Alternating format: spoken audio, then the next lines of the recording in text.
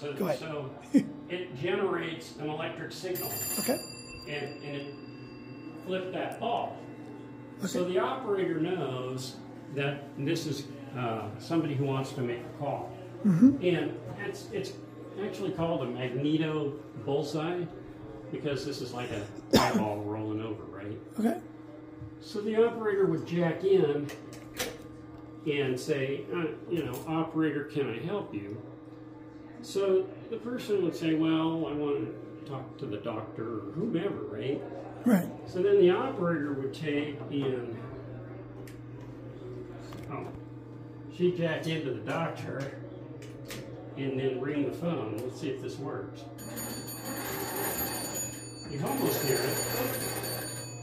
It's not ringing as good as it should. Let's see. Okay, you hear that one? Yeah. So they would ring that party, and then the other party, you know, would answer. So now, at this point, the operator has a decision to make.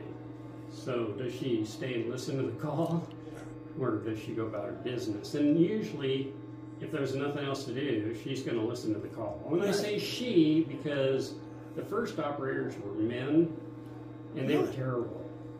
Um, they would come in late, they'd be hungover, they'd want smoke breaks all the time, and- and they were rude and obnoxious, basically. So they quickly changed to women. And they also found customers liked talking to a woman better. They felt their voice was more Soothing, calming, helpful. whatever. Yeah. So at this point, she might be listening. Now, where it kind of gets interesting is what happens when all the jacks get full? What do you do? You got to add another board. So this this set of panels here, this set of jacks, was reserved for what are called trunks. And trunks tie switches together. This is a switch, even though it's somebody has to operate it. It's a switch, right? You, you switch it in and you make a connection.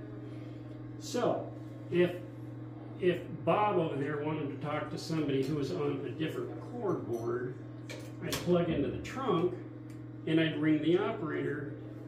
Now, if it's right next to me, I might just slide the chair over. Right. Plug it But in. if it's four down, I'm going to ring the operator and say, hey, I've got a call for you, and then they would plug it in. So you'd have, you'd be going from the phone to the jack.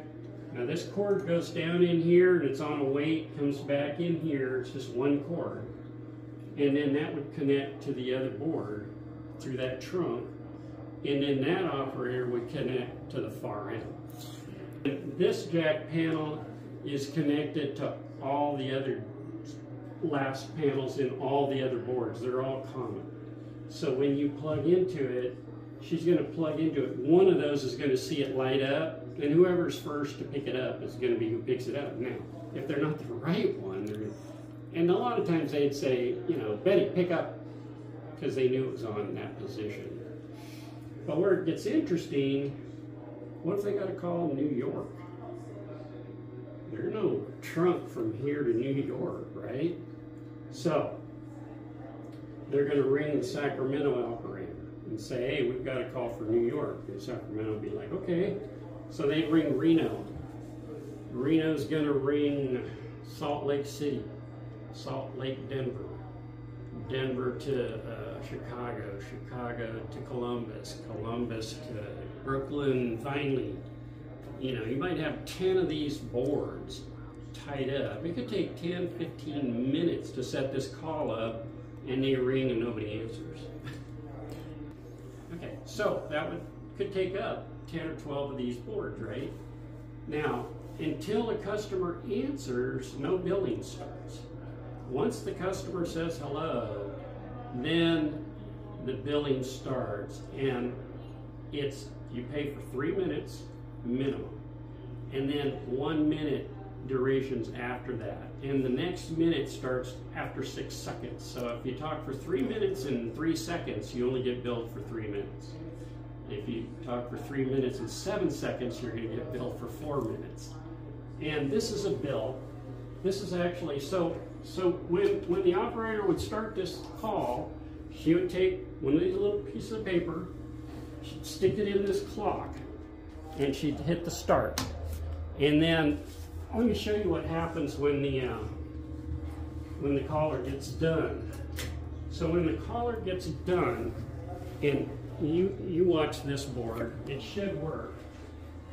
The caller gets done, they turn the magneto. See that red ball right there? That tells the operator that this cord position right here, number four, is done. So she unplugs it, and she'd come over to her little thing, and in slot four would be a ticket, and then she'd take the clock that she had started the call, and she'd slide it in and, and stamp it in the call. And this is what the ticket looks like. Um, now, are you from around here? Oh, hi Andy, how you doing today? How's the wife and kid? You know, back they know who it was, especially when it was small.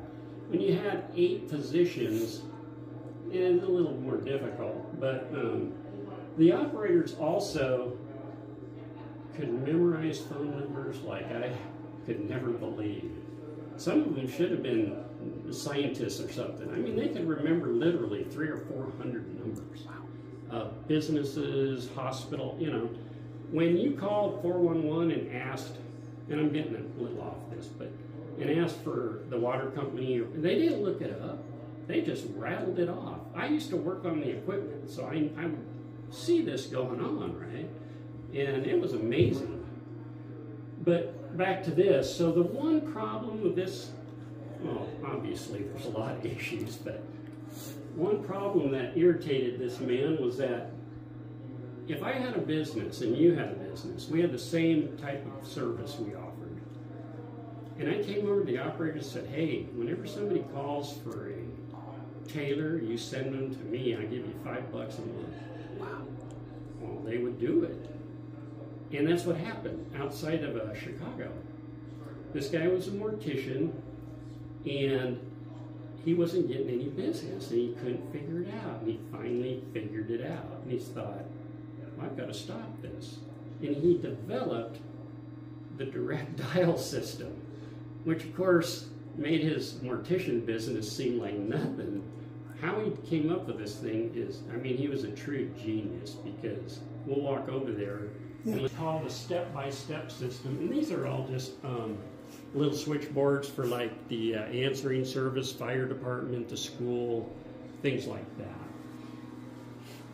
So this step-by-step system, and there's a little, this Almon Strowger, in fact these are called Strowger step-by-step switching systems named after him. And they're um, very ingenious for the time they were developed. Now, the problem with them is there's a ton of moving parts, right? So you got all these relays that move, all these contacts.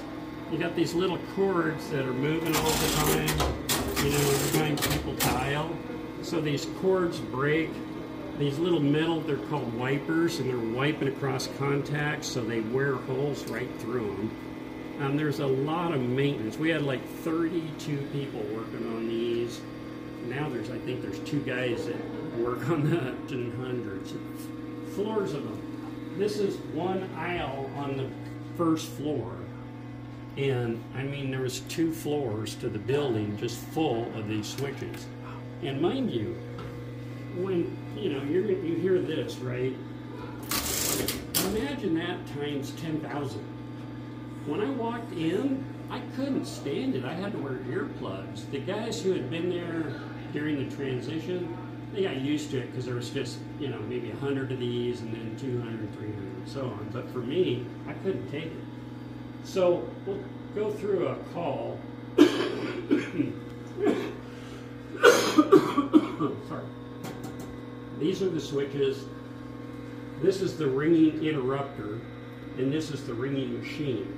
So you have an interrupter because otherwise when your phone rings, you just go ring, never stop, right? And then this is just for recorded announcements. So that's what we got going here. So in this system, when you pick up the phone, it's not like your iPhone. It's very important that you hear a dial tone.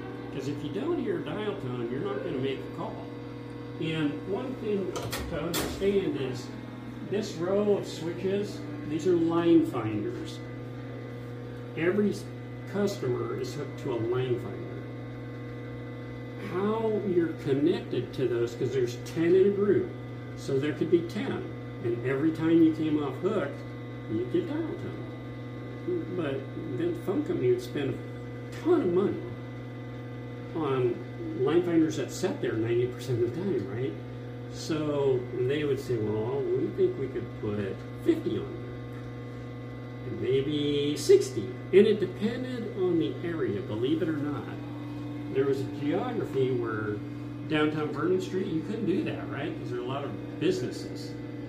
So you could only put 20 on there. But way out about baseline roads, you, you could put 90 on there sometimes. And they would put little counters on so that every time you came off hook and didn't get a dial tone, it trigger the counter. And if it exceeded four or five, they would move people to different line finder groups. Oh. So they that was the traffic department would manage it. So I get my dial tone. This is a line finder. I've got it, so I start dialing. And this is my first selector. And all my first selector's doing is trying to get me down to these connectors.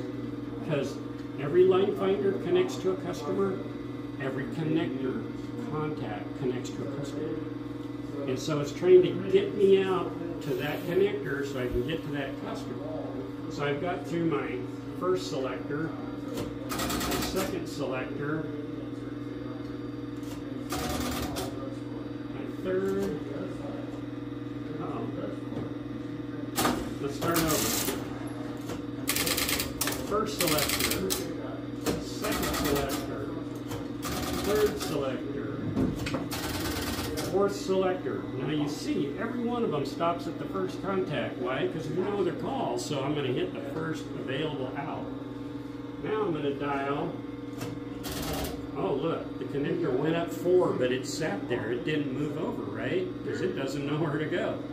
So now when I tell it, now it went over four. Now if you answer, Hello? now, this is pretty clear, right? You can hear me pretty well. I mean, the quality of a call on this system is actually good. On that system, not really. You had to yell. So, did you ever watch Andy Griffith? Okay. Well, when you watch Andy Griffith, he was yelling in the phone. That's because you had to yell in the phone. He actually had to experience actually making calls on those phones. Really, it doesn't degrade much. It's just that the um, mica and the little transmitters and receivers just were not of real high quality. Uh, they didn't flex enough.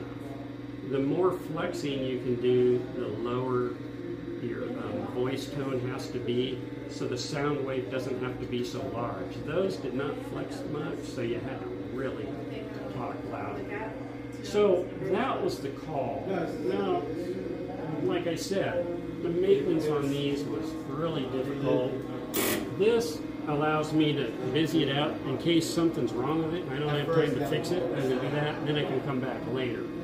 These pull right out, and you can set them on a stand, and you can clean everything and test everything and replace whatever you need to do, and then just jack it back in, and, and you close the button back up, and it's good to go. Um, now, one of the biggest problems was these when I later in my career here was uh, traces. So today, every call that gets made is recorded. I mean, there's a record. I don't know if they tell you that, but there is. And they go back and any date and time, any phone number to tell you, oh yeah, they made this call to this number. Couldn't do that with this, right? So we used to put these devices in. And it was kind of interesting because we got a call from the high school saying, hey, there's a bomb threat. You know, we're getting one every couple of weeks. It was just kids who didn't do their firm paper. I don't know what it was. Excuse me. So we got some of these and we put them in to the police department and the schools. And sure enough, what happened is when you called the school, they would not hang up. By them not hanging up, you couldn't hang up. So they would leave the phone off the hook, and get another phone, call us, the police, we'd call the police, the police would say, go ahead and do the trace. And then we tell the police, okay, we traced it to this address. They drive over there, and if they picked the phone up at your house and got to the school secretary, you're, you're toast. So after we did that two or three times, there was no more bomb threats. Right. Because the kids knew, uh-oh, they can catch us now. Um, Or, um, yeah, that's what the general term is for doing a trace. Um, but the other problem with these, so imagine you, you see these switches are all right here, right? But in the real world, they're in this big building, and sometimes the line finder and first selector on the first floor, second selector's on the second floor, So you're running up the stairs and then you're running down. You know, and I, I had to do this sometimes for somebody who's having a heart attack or suicide. It's it's like, and, and, and each time you get to one, you got to pull the prints out beside it and read the diagram. Oh, okay, this is where I got to go next, and fold, you know, put it away. And sometimes you couldn't do it in time to save someone's life, and it was kind of depressing, actually. Um, so when the computer switches came along, it was much nicer. Boy, we digital? yes, yeah, that was the digital switch. Uh, so on the landlines, there's a separate database. So when you called 911, the phone company would collect your information and send it to this other database that the emergency um, companies could see and know, oh, this is where we got to go. There's still a lot of cell phones that don't have them today, which is why a lot of people keep their landlines. Um, you know, if you have coronary artery disease or something, mm, I would recommend you have a landline. Although there is a company in Sacramento that just started up, uh, home telephone service, 39 bucks a month, never to go up for 10 years, but I'm sure that's wireless. There, there's no way they could be using physical facilities. 10 years from There now. is no guarantee. So, Yeah. you know, um, There's, there's, so you can dial. Like you can actually, there's a way to just, you heard it there. If you hit the right cadence, you can actually dial a number just with a hook switch. But it's very, very difficult. The one's not so bad, but the nine, you'd have to be a pro. Or it's just a fluke, right? So yeah, the hook switch will dial in one of these systems, but it has to be super precise.